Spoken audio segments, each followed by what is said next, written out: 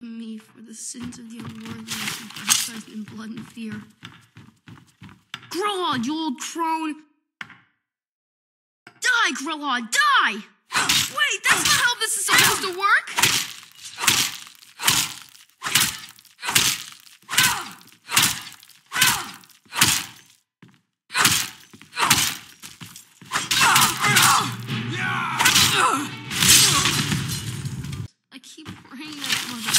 Why won't you answer me?